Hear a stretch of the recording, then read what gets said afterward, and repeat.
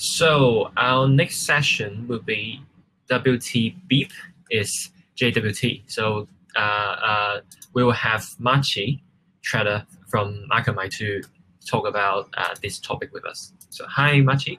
Hi, how are you? Uh, great. Okay, I can see you your camera right now. Could you try to share your screen? Yeah, sure. Great. You should see Yeah, my slides right now. Great.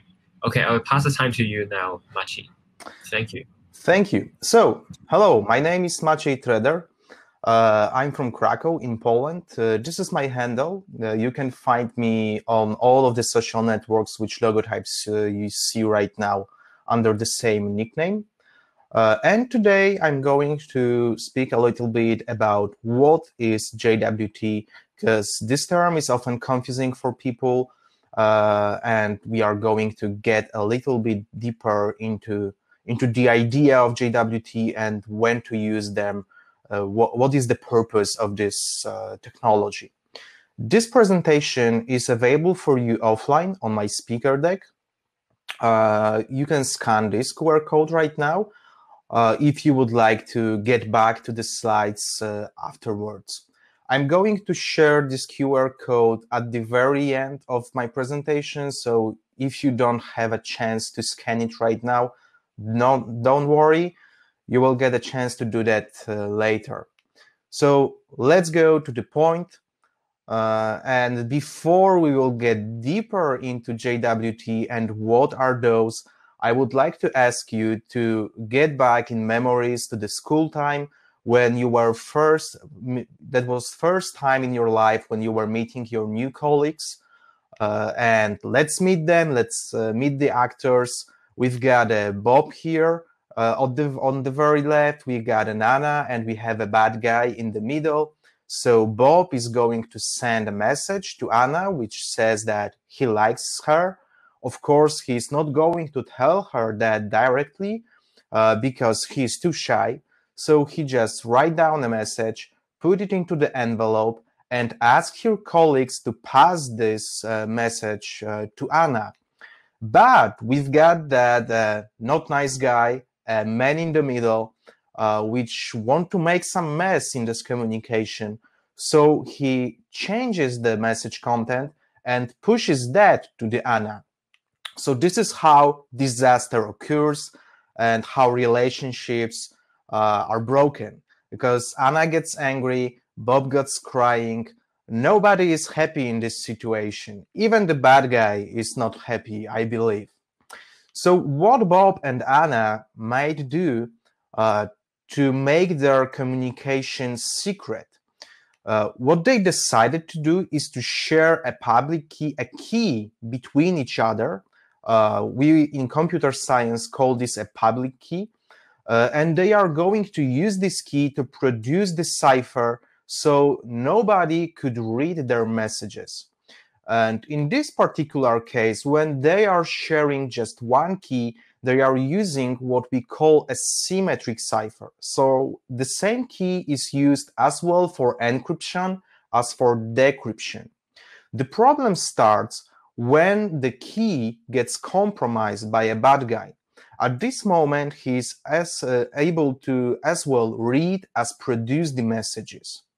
To avoid the situation and address this pitfall, uh, we came with the asymmetric cipher. In asymmetric ciphers, we are using the pair of keys, the public and private key. One is used for producing the messages and the other one is using for decrypting them. Uh, those key can be used interchangeably. Uh, so if something is called private key, uh, you can still share it with others or uh, but you need to remember that the corresponding public key should be kept uh, secret. The important thing uh, is to just share only one of the keys. How those keys are produced? First of all they are based on the one-way function. Uh, what one-way function is we are we are calling the one-way function if it's easy to calculate the output of the function and it's hard to calculate what were the producers of those functions. So for example, multiplying primes uh, is an example of such, uh, of such function. So to calculate the keys, to generate them, we are just picking up two prime numbers. In our particular case, let's pick the small ones for easier calculation. Uh, then we are uh, calculating that uh, the, our function output, so the one-way function output, in this case 33, and we are calculating the phi number. Uh, so the phi number uh, would be uh, necessary to find out uh, the, the second part of the key, which is called n in our case uh, sorry, which is called e, which is the exponential, uh, which we are going to use to produce our, our code output.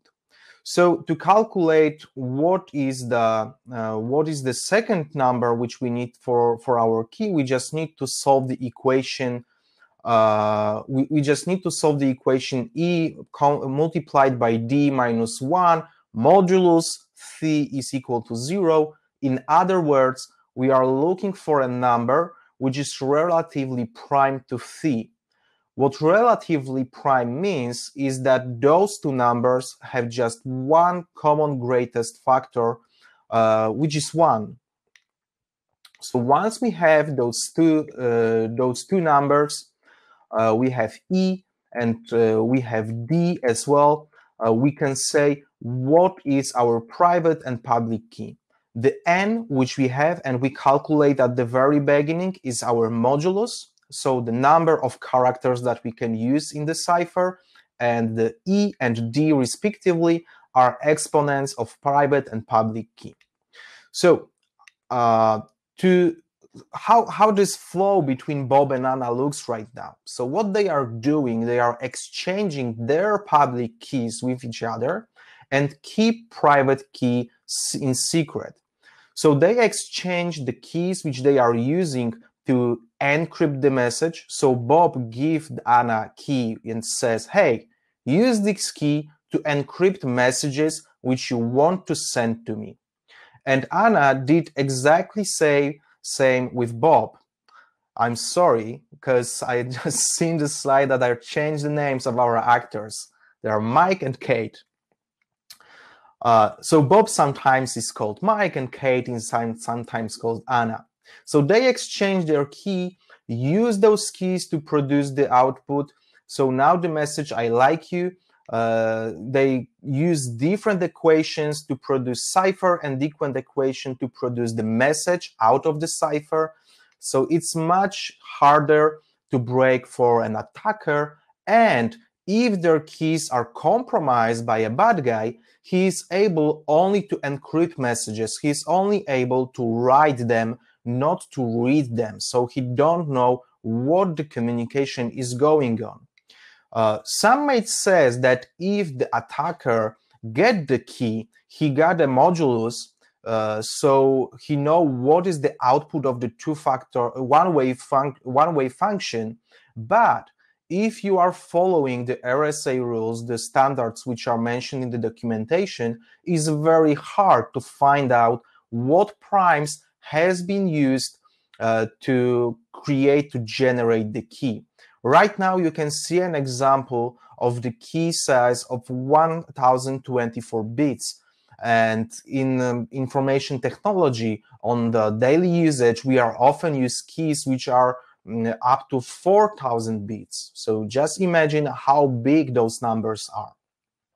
But attacker can still produce messages. So he can uh, act on behalf of his victim. How to solve this problem? This is where we are coming with the idea of signing.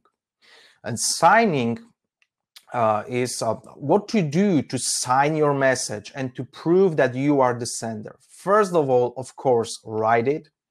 Uh, you need to previously uh, exchange the public key with the receiver. So once you write your message, you are hashing it with some hash method. Uh, then you are encrypting the original message with your private key. So the receiver will use the public key to decrypt it. Then you are combining the original message together with the hash, encrypt message and hash with their public key. So the public key which Bob received from Anna. And this is what you are sending to her.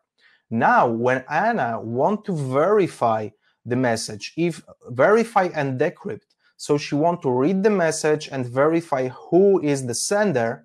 She is, of course, receiving it, then decrypting using her private key. And she got a original, original message and the hash, which is encrypted.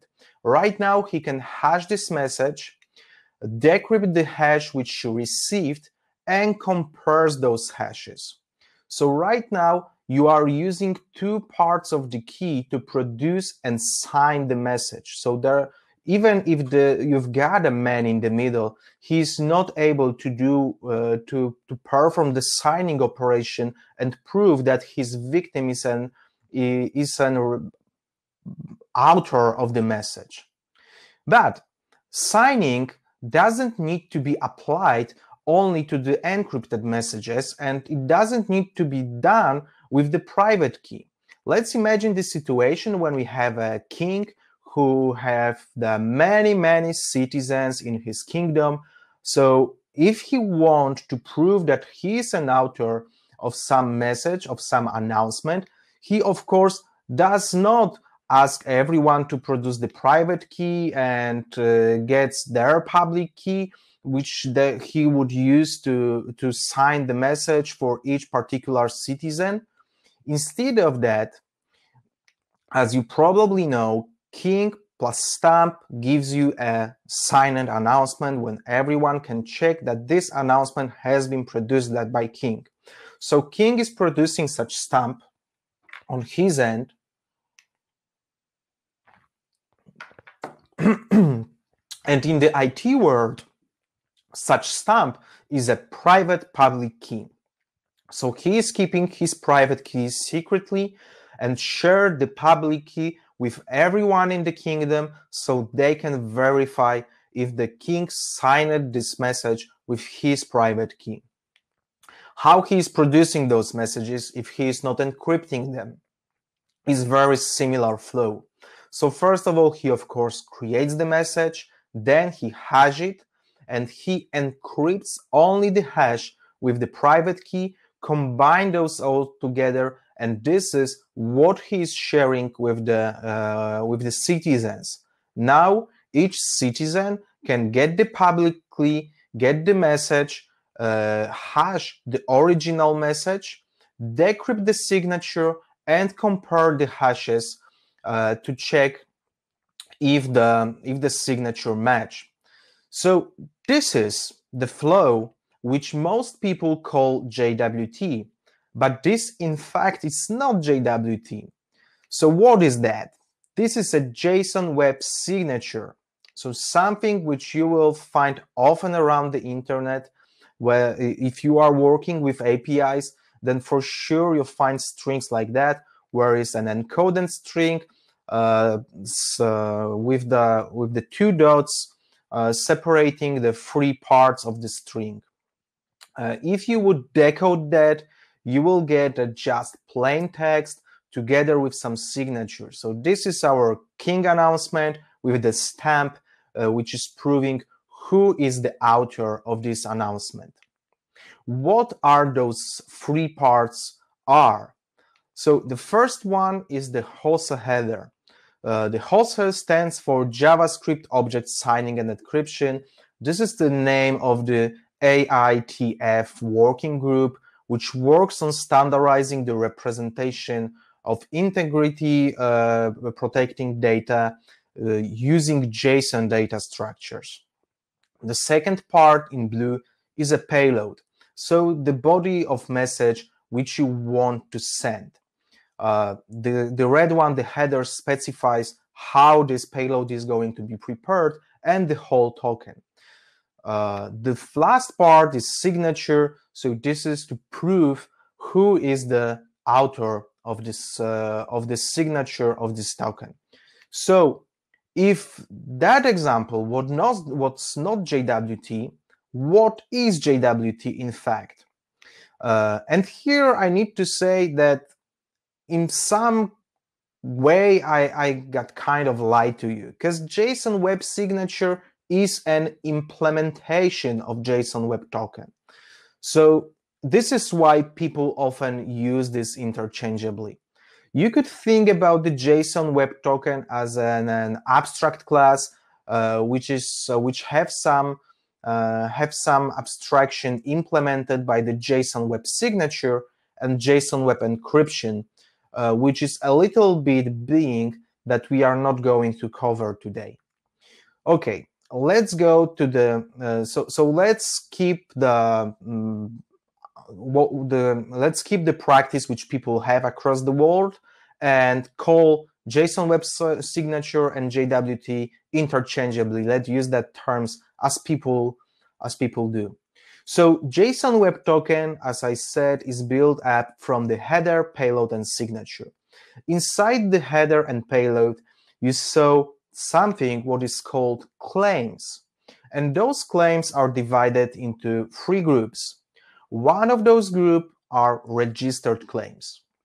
Those are the claims which are specifying, uh, often in header, you've got an algorithm and type, but those can be in the payload as well. And claims from payload can be in the header as well. So don't be surprised if the if you would find something like that.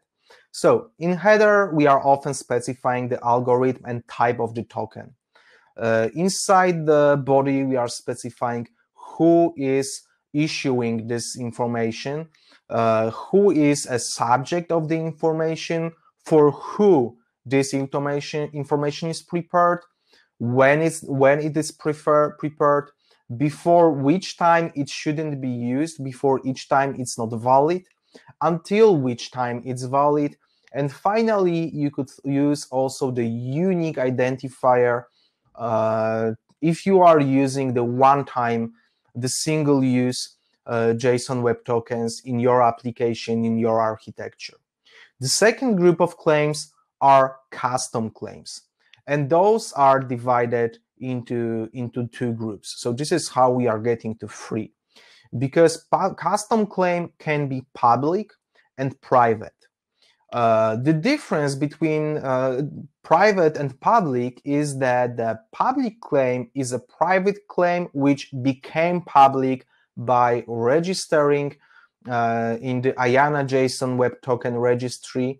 Uh, the registration process is paid, as far as I remember, and you might want to do that to avoid the name collisions if you want to use some custom claim across the applications around the internet. So you are uh, you are producing JSON Web Tokens which are going to be used by others than than you. If you are using JSON Web Token in your internal system, you are fine to go on with private claims.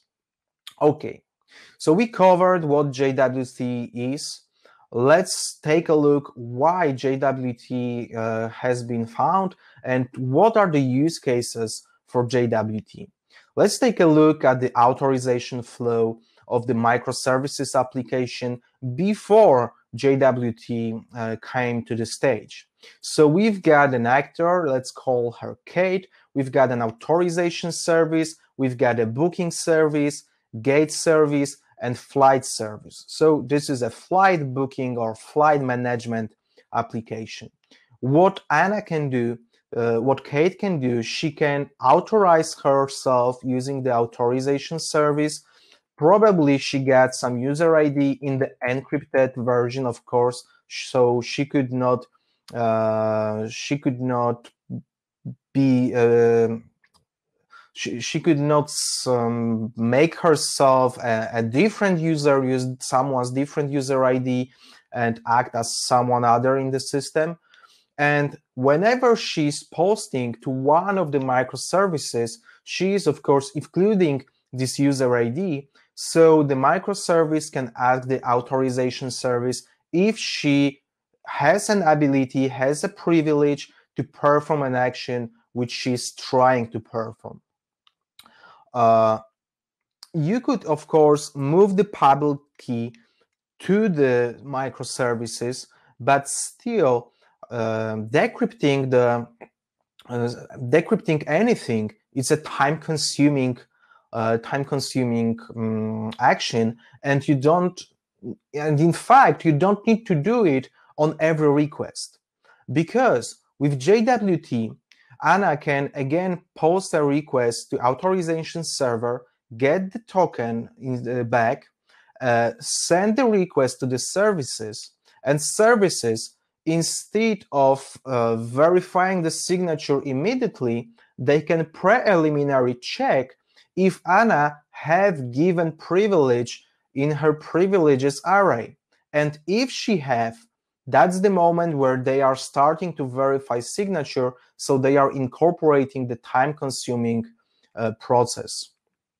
You may think about that as uh, um, hash code and equals uh, methods. So you could uh, you could preliminary check like hash code preliminary checks if two objects are not equal. But so so this is what hash code says for sure. But if you want to check for sure if objects are equals, you need to go to equals method. Same with JSON Web Token. Here we are checking if the coded token has given privilege and if have if it have it, we are going to verify signature process, which is time consuming. Moreover, thanks to JWT, you can move this preliminary validation to the load balancer and offload your microservices uh, to do not handle requests uh, which does not have a particular privilege. And you can also offload your whole application and delegate the validation process to third parties like Akamai, who I am working for. So we could, our content delivery network could verify the claimant signature on behalf of you before the request even reaches your system. Uh, we ship this uh, we ship this possibility in the product called API Gateway, and one of the parts of API Gateway uh, is the process of verifying the JSON Web Token claims. You can verify the validation process for each of your endpoints separately, or you can uh, generate the the general validation rules which will apply to your whole API uh, it's very flexible, so definitely give it a try. For further reading, uh, I strongly recommend you to go on uh, with the article of Jeff Costa on Akamai Learn blog and my own article on Twilio blog post about protecting uh, microservices with JSON Web Tokens and Twilio Authy. Let's move to the second use case of JSON Web Tokens, which is OAuth. What OAuth is, is the something what has been found to simplify the process of the application authorization, but in my I, in my feeling, it's right now a little bit complicating it because I am always asking myself a question: Which social network did I use to sign up into this particular system. So I'm always running with the five accounts uh, where I'm using only one and I'm just trying different uh, of providers to check which one I use to uh, to go on with this particular uh, request. But let's take a look how OAuth works and how JWT can improve this flow.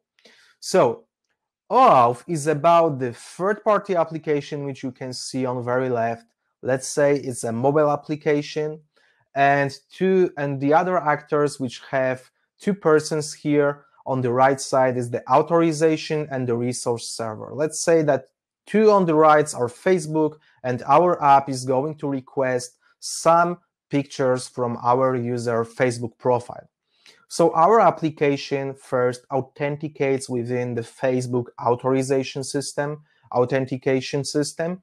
Then we are getting the access token And using this access token, we are requesting for the resource for user pictures. What the resource system does, it validates the token against the auth service. And once the token is valid, it comes back to us with the resource. If we would use JWT token here, we could uh, we could avoid that additional communication and validate the token. The token could be validated by the resource server uh, and preliminary checked. Okay, so uh, that was about the OAuth. Let me uh, quickly leave this slide for a while.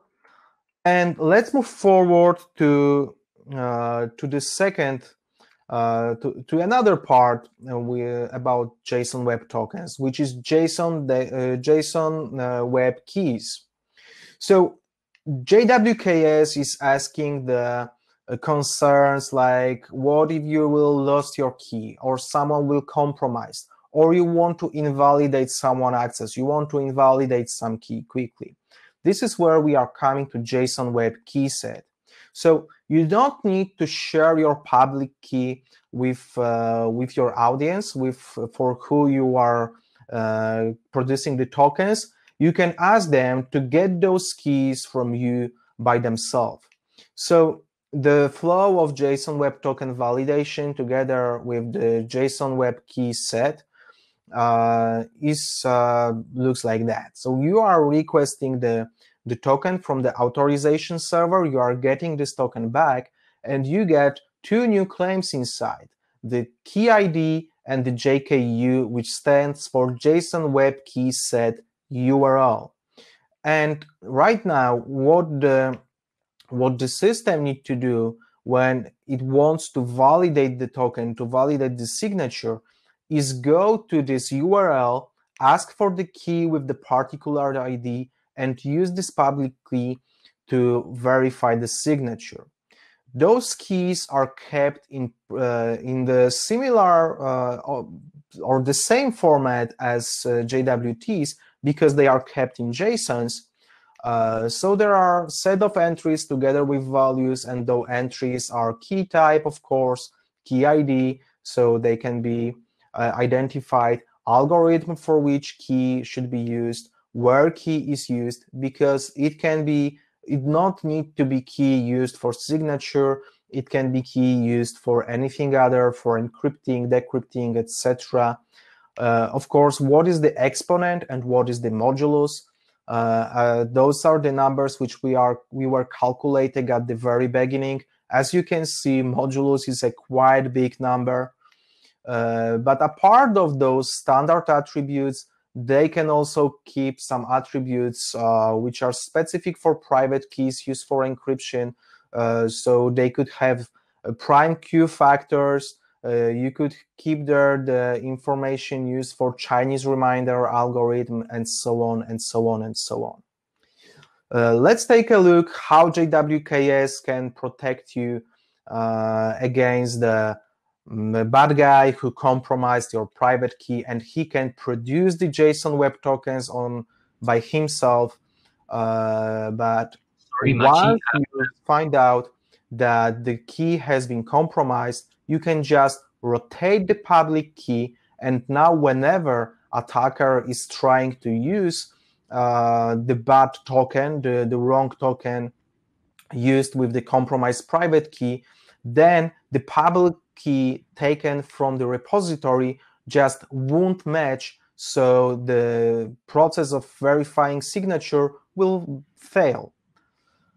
Okay, because we are running out of time, I'm going to skip some of the pitfall and vulnerabilities. Uh, but for yeah, sure, we need to speak about the. Hello, Maciej. Can you, can you hear me? Yeah, so I, I think hear you. time is running up. So yeah, I, I think for for that part, if uh, the audience has any question about it, yeah, sure. they will send over to you. Yeah, thank you. So I think uh, Maciej gave us a very in-depth explanation on JWT and public key infrastructure and all those kind of stuff. So yeah, it could be kind of hardcore sometimes, but do try to uh, ping Maciej for further discussion if you have any questions. Yeah, let me just quickly, quickly, quickly go to the QR code. Back and here the QR code for presentation. You can find me on Twitter, and of course, I'm going to stay here on the chat for some time so you could reach me. Yeah,